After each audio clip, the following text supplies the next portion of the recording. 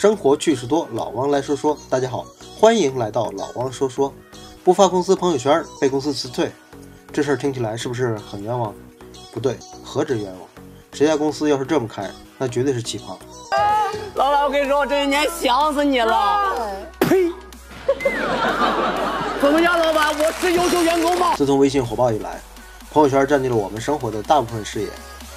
前些年微商横行的时候，莫名的多了 N 多好友，每天给你展示各种的无名良品。要说这给公司发朋友圈，也是可以理解的。老王在企业的时候，就曾经给老板上过微信营销课。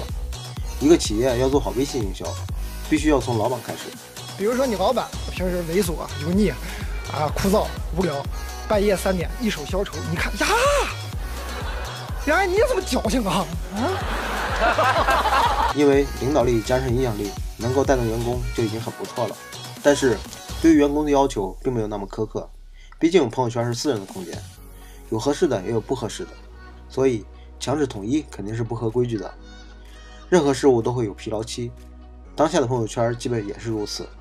相信很多朋友早早就屏蔽了那些微商的朋友圈，即便是不怎么联系的朋友，也一样被屏蔽掉。朋友圈的价值大不如从前了，似乎都已经被城里人玩坏了。你看到一个香蕉皮，你就躲啊躲啊躲啊，踢就把它踢去后面，之后你就看到两个外人就分开了，其他的都夯不啷追过来。老王很久没有发朋友圈了，同样的，老王的朋友也有很多都关闭了朋友圈的功能，也许是需要一份与世隔绝的安静。自从有了互联网，我们就生活在信息爆炸的时代，有用的、没用的，统统扑面而来。很多时候，我们自己都难以分辨信息的真伪。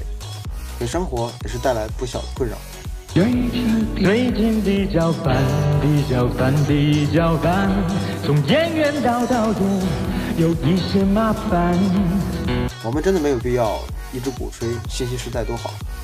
回头想想，我们生活的上世纪九十年代不也是一样？那时的快乐依然不少。零零后都说微信是老人玩的，现在的朋友圈也是今非昔比了。英文怎么说？This is not the past。生活趣事多，老王来说说。我们下期再见。